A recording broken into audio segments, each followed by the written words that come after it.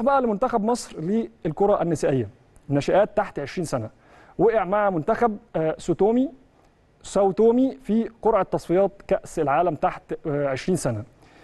في بنات موهوبات واعتقد إن عندهم فرصة يتقدموا خطوة في التصفيات لأن في حالة الفوز على ساوتومي هيلاعب الفائز من الكونغو وناميبيا.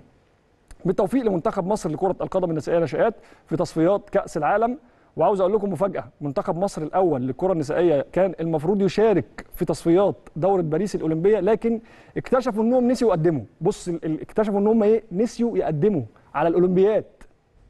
كرة القدم النسائية نسيوا يقدموا على الأولمبياد. اتحاد الكرة نسي يقدم لمنتخب مصر الأول للكرة النسائية في تصفيات الأولمبياد اللي القرعة بتاعتها اتعملت هنا في مصر. القرعة كانت هنا في مصر ونسيوا يقدموا هم يعني.